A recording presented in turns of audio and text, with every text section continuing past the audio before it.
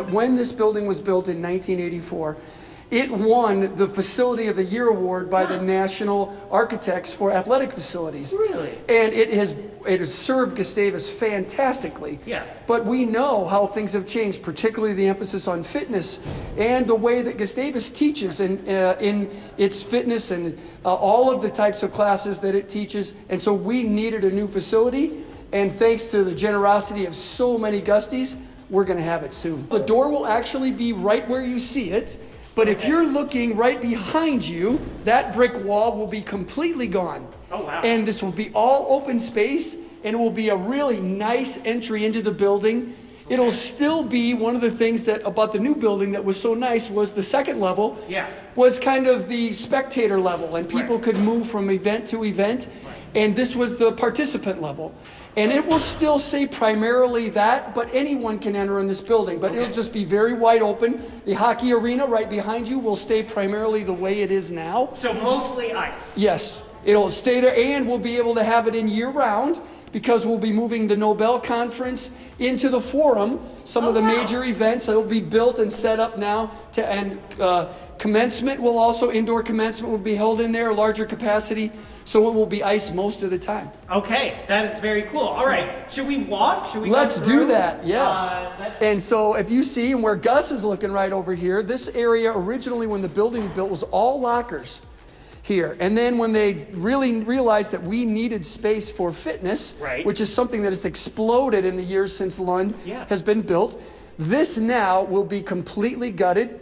And this will be all locker rooms here. Really? And one of the things that will happen is that every single varsity team will have their own locker room. This entire area will also be the equipment issue in the middle, uh, in this entire area out to the wall, and the athletic training room will be right in the middle. So what? What? What if Gus wants to elliptical?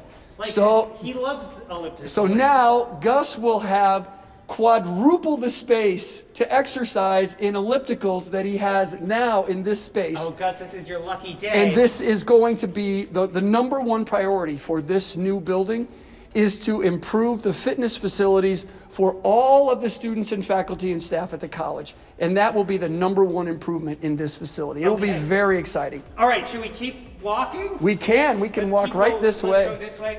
There also will be a larger, much larger locker room for the general population Oh, okay. to be able to come in and use and to exercise and to be fit. All right, that's awesome. Are we going in? We here? can head right in here, yes.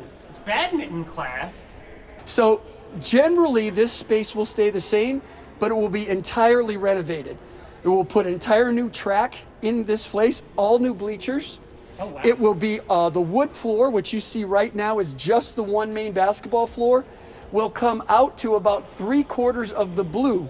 And so we will allow to have now all of our basketball teams practicing in the four to six and six to eight. We won't have to go to that eight to 10 slot.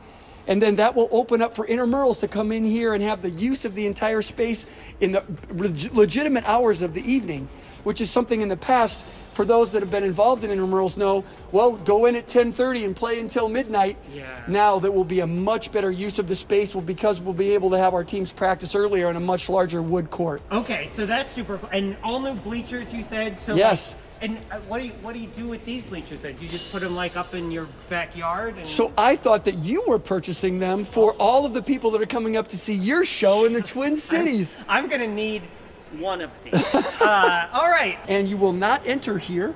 You will now enter at that end of the building, which is the west side of the building, because that is the area that is going to join the new field house, which will be the largest indoor facility in Minnesota other than the University of Minnesota. Can we say that again? The largest indoor practice facility.